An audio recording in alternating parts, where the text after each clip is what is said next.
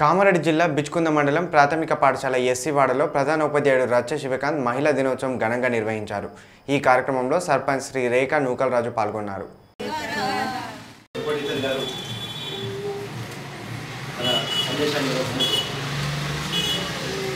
శ్రీమతి లలిత పటేల్ గారు అదేవిధంగా కొత్తగా ఎన్నికైన సర్పంచ్ అయిన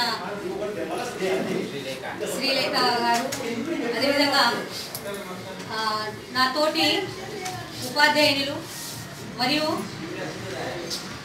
ఈ వార్డు యొక్క మెంబర్ అయిన లక్ష్మి గారు మరియు ఇక్కడ ఉపస్థితులైన విలేకరులు మరియు గ్రామ పెద్దలు అదేవిధంగా ఉపాధ్యాయ బృందం తర్వాత బయట విద్యార్థినులు మరియు మిడ్ డే మీల్స్ వాళ్ళు అందరి కూడా మహిళా అంతర్జాతీయ మహిళా దినోత్సవం యొక్క శుభాకాంక్షలు.